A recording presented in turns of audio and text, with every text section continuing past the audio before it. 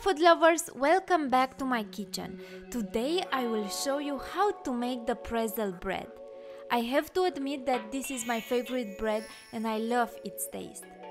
In a bowl add 350 milliliters warm water, 7 grams dry yeast and 3 tablespoons of brown sugar.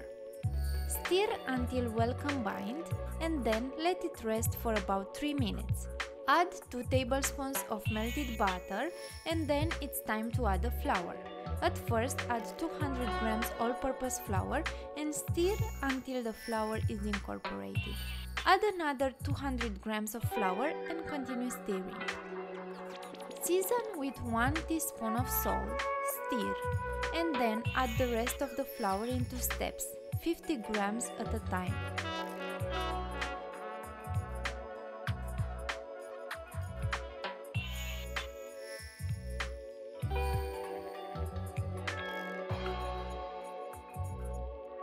Case the dough is too sticky, add more flour.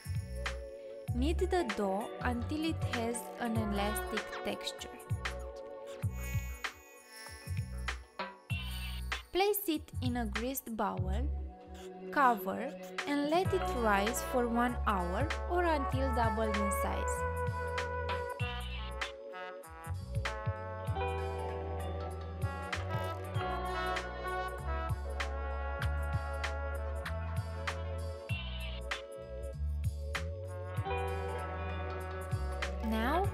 Time to form the pretzel bread. Meanwhile, we need to prepare the boiling solution. Combine 1.75 liters water with 150 grams baking soda.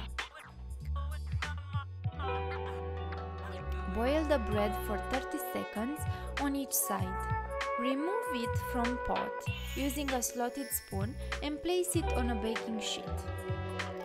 Immediately, use a knife to cut a small incision on the top of the bread so the dough has somewhere to expand and sprinkle coarse sea salt over the bread to your taste.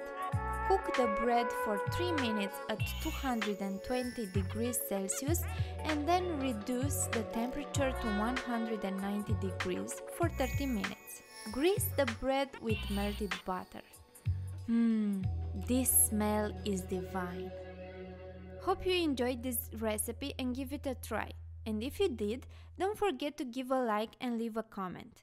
If you want to see more secrets in the oven recipes, don't forget to subscribe to my channel. See you next time!